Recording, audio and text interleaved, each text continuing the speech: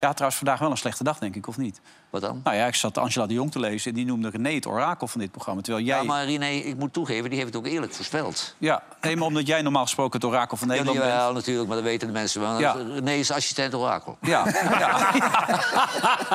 maar dat was toch even een momentje, René, natuurlijk. hè? ja, nee, wees niet bang dat ik me te serieus ga nemen, hoor, ouwe reus. Ik bedoel, Nee, maar de, de theorie die erachter zat, die, Ja, die ik, vond het wel. alleen, ik vind het alleen wel lekker, joh, voor zo'n Khalid en Sofie. Weet je, als je er vijf, zes dagen probeert om toch een beetje... jongens, alsjeblieft niet Wilders, alsjeblieft niet Wilders. Laten we dat niet doen. Je zet nog die heertje neer. Jongens, alsjeblieft, scheiden me je uit. Laten we dat niet doen. En je blijkt achteraf toch helemaal totaal geen invloed te hebben. Is toch ook lekker?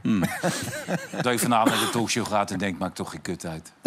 Dat is een lekker gevoel. Wat je ook doet, bedoel je? hun, misschien dachten ze nog dat ze wel een soort van, van Ja. Ja, eigenlijk podium of invloed hadden. Maar nu blijkt dat het niet het geval is. Eigenlijk blijkt Harry Mens met Liesbeth van Dijk meer invloed te hebben. Absoluut. Ja, want Liesbeth... Absoluut. Liesbeth wist niet waar die van was, maar ze heeft het wel gezegd.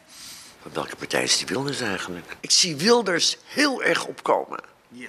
Echt meer stemmen dan we denken. Ja,